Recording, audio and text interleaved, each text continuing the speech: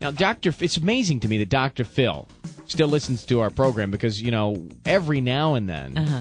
I believe that we poke a little fun at him. Well, you know, he's been uh, in the spotlight. He's being criticized for his his eating program because you can buy it in the grocery store and all the formulas. He says one's for apple shape, pear shape, different shaped bodies. It's the exact same stuff in a different package. I thought maybe he was criticized because he's overweight, and Oh. people look at him and go, "Well, why am I going to listen to that?" that guy? too.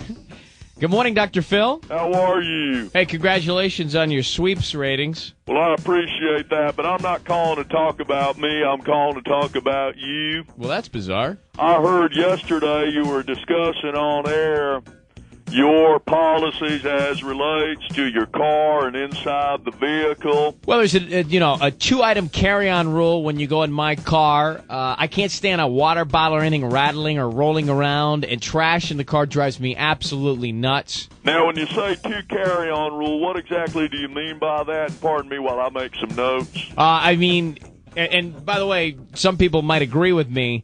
I don't like it. For example, if you, Dr. Phil, had a newspaper, a bottle of water, and a coffee, one item goes in the trunk. Which is it going to be? Now, The other you- two can come with us in the front. Now, do you find that you've got these stringent and somewhat rigid rules and policies as relates to other areas of your life? Um, hang on for a second. What's that mean? Are you like that throughout your Yeah. whole life? Yes.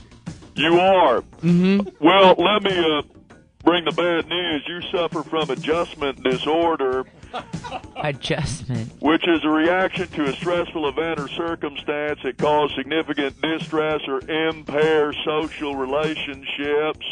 And I think the change in your work schedule and the intense hours that you're on the job are manifesting themselves in these somewhat bizarre and I got to say really wacko rules about your car. Are they control issues, Doctor? They certainly are that, and I bet it makes it difficult for those who have the misfortune of having to interact with you to have to be in that automobile. So I'll say to your girlfriend Shanna, if she ever gets too uptight about all this, she knows Dr. Phil does have an open door policy. Was that that's at your studio there? Well, there too. I'd be happy to treat her. I'm sure you would. Good luck with your condition. You'd like to rub that slick bald head all over, wouldn't you? Oh yeah.